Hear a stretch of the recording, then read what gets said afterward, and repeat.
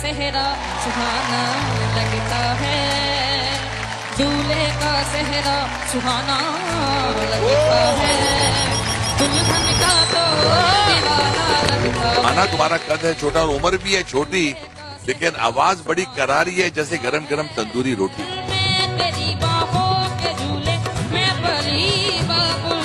जा